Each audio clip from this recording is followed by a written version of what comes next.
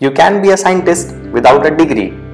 Yes, guys, you have heard me correct. You can be a scientist without a degree, and not only that, you can even contribute to the astronomical and scientific societies with your research.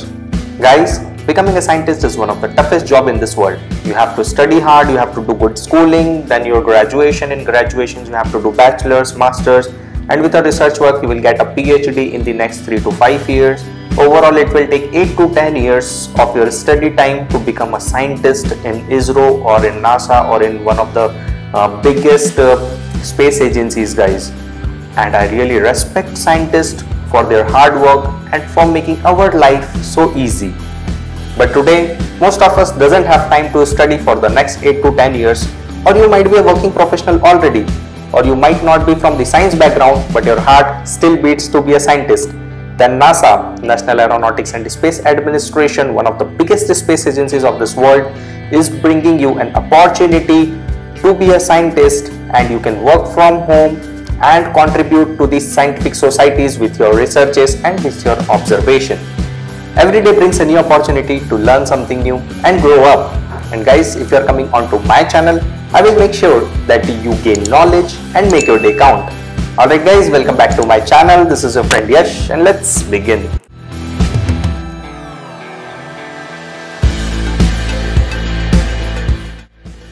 Alright guys, let's hop onto my computer screen. And guys, in this video, I will also be telling you how you can access this website via your mobile phone by this end of the video. So guys, we have to log on to a website, nasa.gov. And you can see a very beautiful main page of NASA's website. And guys these are all the drop down menus.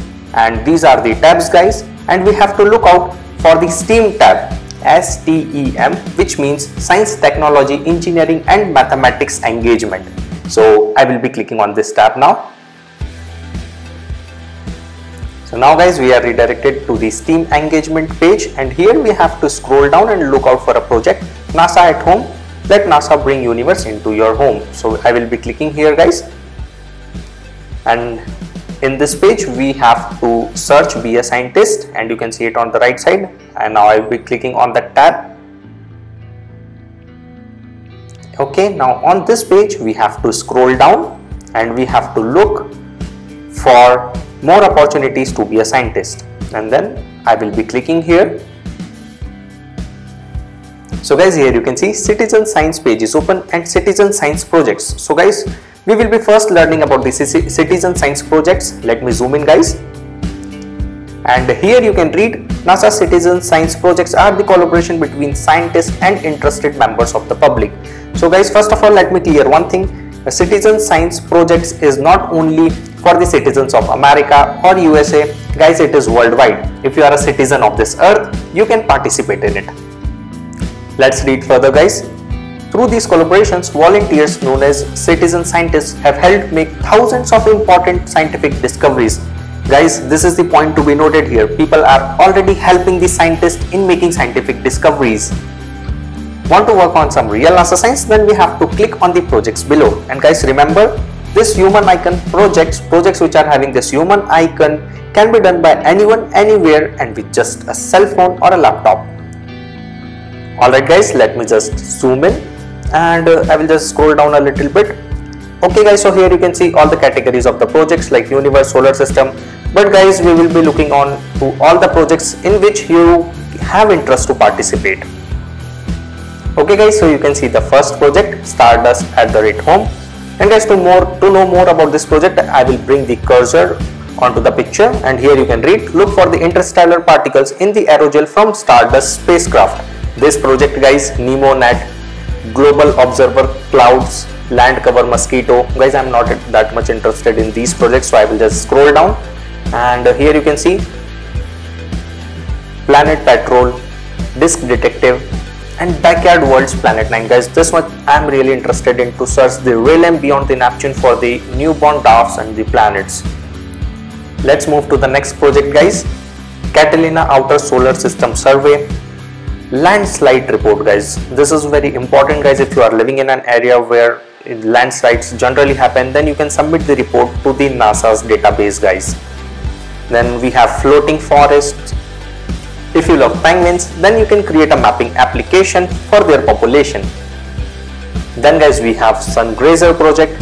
In this project we have to look out for the unknown comets in the SOHO and STEREO satellites guys. So first of all I'll tell you SOHO stands for the Solar and Heliospheric Observatory and STEREO stands for Solar Terrestrial Relation Observatory.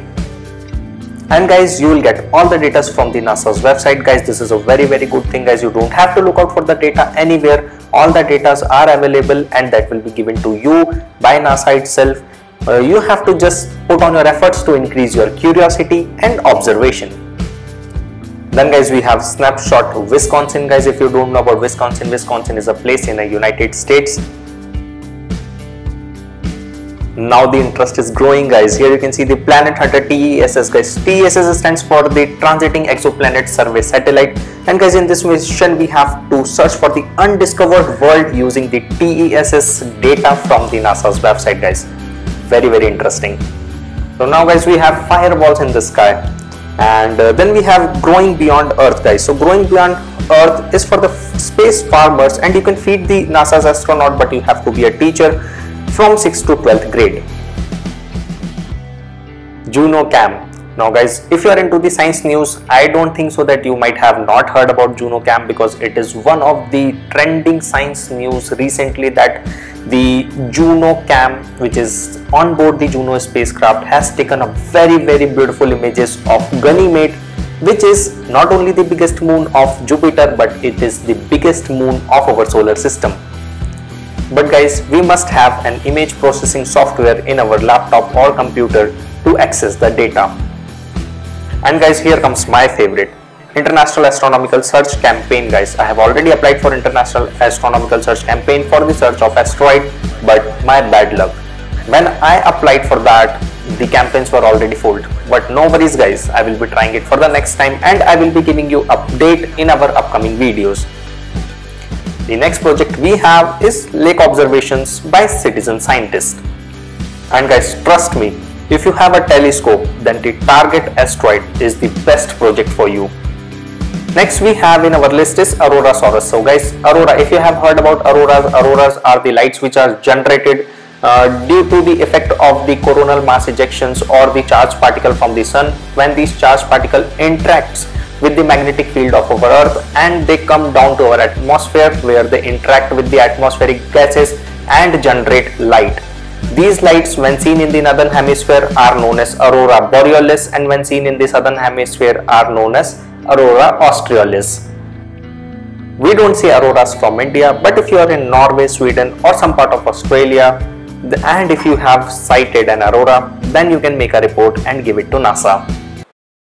So next in our list we have community snow observation and soundscape to landscape and air quality citizen science. To check out the trending projects you can go to the citizen science news. So guys I'll tell you my favorite projects as well as the projects which I feel it is beneficial. First of all it is International Astronomical Search Campaign and the second one is Planet Hunter TESS. So first I will open International Astronomical Search Campaign Alright guys, here you can see the main page. Welcome to International Astronomical Search Collaboration and I will just scroll down guys. Uh, so guys, this is what I was mentioning earlier in, in my video that I have applied for All Indian Asteroid Search campaign. But you can see on the right side guys that it is already full. The campaign will begin on July 1, 2021 and uh, I have applied for it but I already got a mail that campaign is full. There is no longer place available. You can see the other campaigns as well which are all Iran asteroid search campaigns international asteroid search campaign MCTI 2021 asteroid search campaign guys. So four campaigns are there but we can apply in Indian uh, Indian asteroid search campaign. And guys for the confirmation I'll also show you the participants around the world. Here you can see all the participants. And I'll show you the participants from India guys and here you can see all the participants uh, who had already participated in this astronomical research or the asteroid research campaign previously guys. I feel really happy to see their contribution. And guys you will be surprised by seeing the number of the teams which is participating in this uh, astronomical search or the asteroid search. Here I will show you guys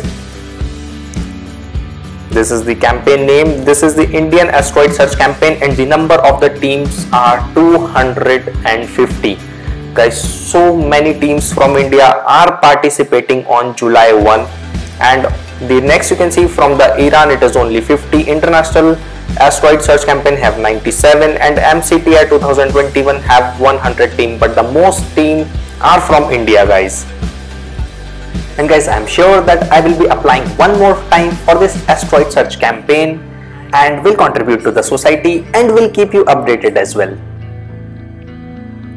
So guys my next favorite is Planet Hunter TESS and I will just open it up.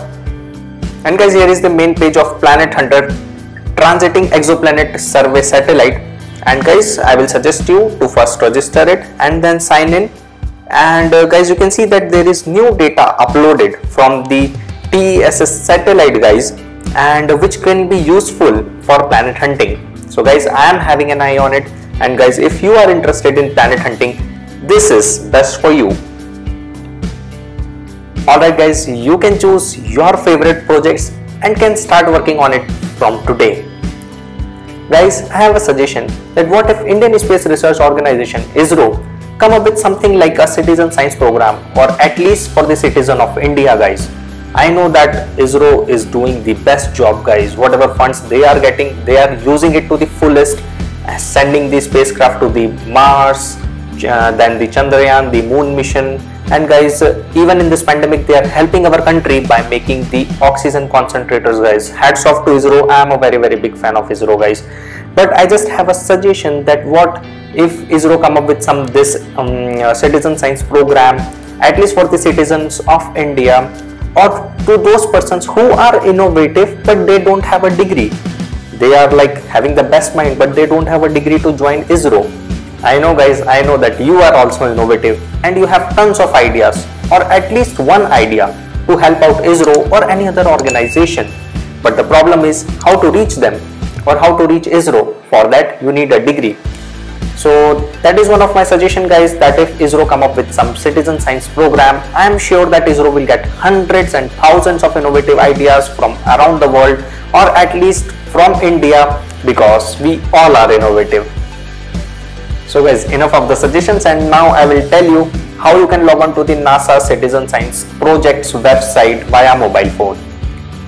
So guys first of all I will open Google Chrome and you can use any browsers with which you are comfortable guys and then we'll log on to the same website nasa.gov and guys I'll also provide you a direct link but this will give you an opportunity to explore NASA's website. And now we will scroll down. And and we will look out for the tab NASA at home. Let NASA bring the universe to you. We will click here. And now here you can see be a scientist guys. I will just zoom in. And yes here you can see the tab and I'll click here the same page will open here as well guys. And now we have to again scroll down. And we have to look out for the more opportunities to be a scientist. So we have to click on this link. So guys here we are again on the same citizen science projects page. And when we will scroll down we will again see all the projects which we have also seen in our laptop or pc pages guys. And rest of the things are same Alright guys, I hope you have liked this video and learned something new today. And yes guys, don't forget to send your name on Mars or Moon or wherever it is coming. Alright guys, stay safe, stay healthy, get vaccinated as soon as possible. Peace out.